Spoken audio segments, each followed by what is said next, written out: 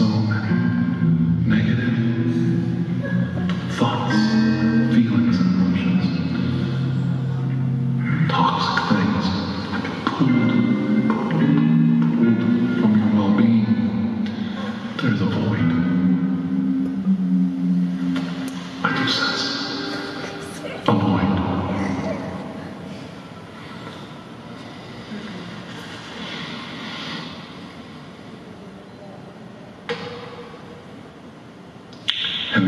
should I see?